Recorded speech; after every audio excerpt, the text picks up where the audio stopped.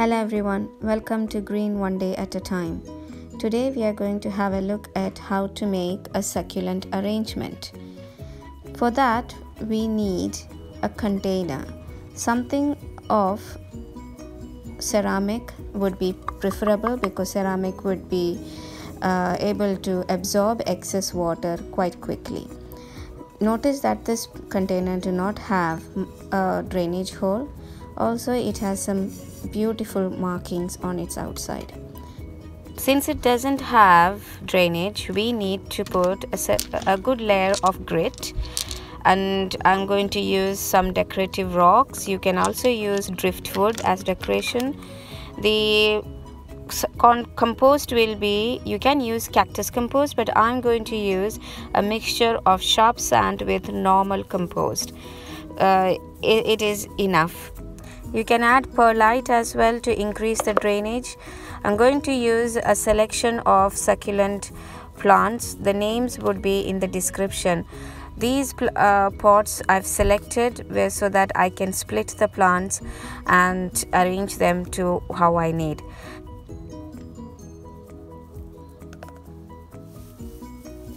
I will also be using this decorative color sand uh, just to prevent the splashing of compost onto the plants once they are planted. You can also use cactus toppings which are minute grit.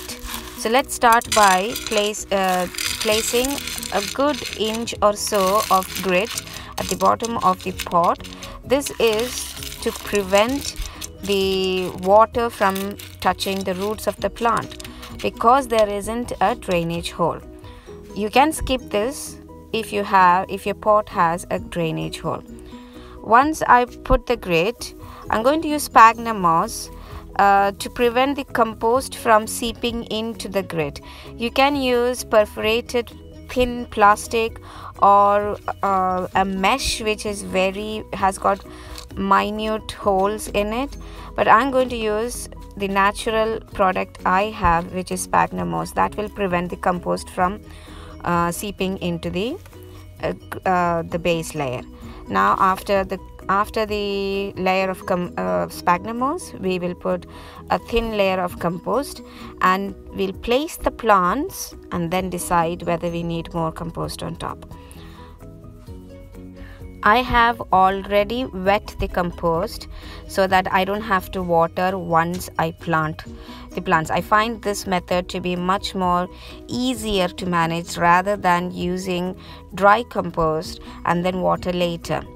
Now it's playtime you have you need to play around with the plants to see which arrangement you like with the decorative uh, things that you're accessories that you're going to use.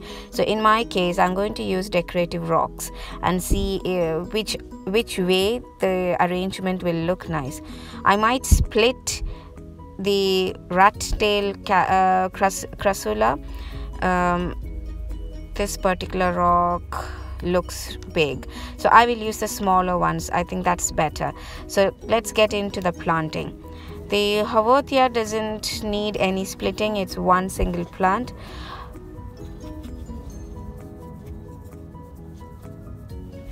But uh, one thing to be careful is that all the uh, cactus or succulents need to be placed at the same level as it came in the pot. So do not plant it deeper. So try to plant it at the same level as it is. So the rat tail crassula is being uh, split and placed like a wall and I will adjust the height using extra compost. Before I place the last plant into the planter, I'm going to try and see how the decorative rocks will look around it. One thing to be mindful of is that when we go into the shops to buy such decorative planters, you might have noticed that the plants are filled to the brim of the pot. A disadvantage of such an arrangement is that there isn't any space for the plant to actually grow in the pot. Um, but when we do at home, we have the freedom to allow enough space in the pot to let the plants grow in there. So here I have chosen these white rocks and I've placed the crassula next to it. You can notice that there's loads of empty space around, but this space is left deliberately so that they have enough space to grow and multiply and fill the pot in the future. I'm happy with the arrangement, so the last bit is to actually add the decorative sand. So with the white rocks, the black decorative sand will stand out, or the other way around. The black decorative sand will help the white rocks to stand out. You can also swap by placing white decorative sand and using driftwood that will also give a very beautiful look to the planter make sure that the, the sand is placed evenly around all the plants in such a way that there isn't any compost exposed. This prevents compost from splashing onto your succulents when you are watering it. Since I have already wet the compost, I wouldn't be watering anymore for another couple of weeks.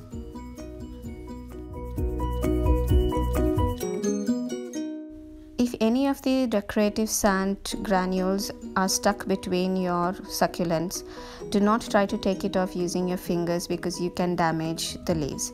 Use a soft bristle painter's brush or a painting brush to get them off. You can keep that handy to get the dust off as well.